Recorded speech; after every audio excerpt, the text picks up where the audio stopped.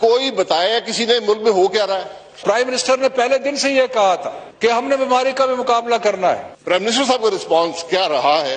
बारह से ज़्यादा तकरीरें फरमाई हैं। तो गुजारिश ये है कि आप कर क्या रहे हैं? प्राइम मिनिस्टर ने एक नेशनल कोऑर्डिनेशन कमेटी बनाई। हमें बताया जाता है इदारे बने हुए हैं। एनसीओसी है पता नहीं एनसीवीडी है पता नहीं और सीसीसी है। ये बता दें पाकिस्तान की कोरोना वायरस के खिलाफ स्ट्रेटेजी क्या है? तो हमने लॉकडाउन होने के पंद्रह दिनों के अंदर स्पीकर साहब हमने टेली स्कूल का इजरा कर दिया। मुझे काबीना का डॉक्यूमेंट दिखा दें जब लॉकडाउन किया गया हो। ये वज़ीर बैठे बता दें। हमें सेहत की तरफ़ तवज्जो देनी पड़ेगी।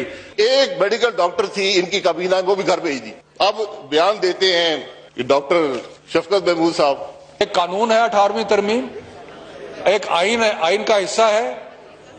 क्योंकि आइन का हिस्सा है उसकी कदर करते हैं लेकिन कोई भी ऐसी चीज़ है जिसमें यह नहीं होता कि गुंजाइश ना हो।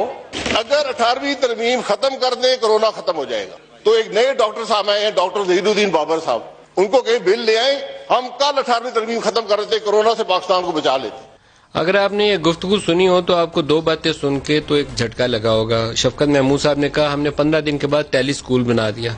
या मसले का हल है टेली स्कूल दूसरा, अठारहवीं तरमीम के ऊपर वो बात हुई तो अठारहवीं तरमीम का जवाब आपने उनका सुन लिया। इसी अरसे में एन एफ़ सी अवार्ड की तश्कील भी कर दी है।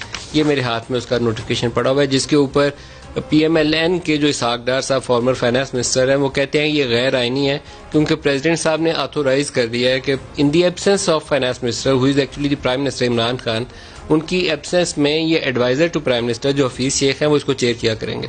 तो क्या सूबे हफीज शेख को अपना हिस्सा काट के देने पे तैयार हो जाएँगे? जो मर्ज़ी और मंशा है इस वक्त सरकार की। कोई एक चार आने को हाथ लगाने देगा? पता नहीं किस हवा में, किस दुनिया में ये ज़िंदा है लोग।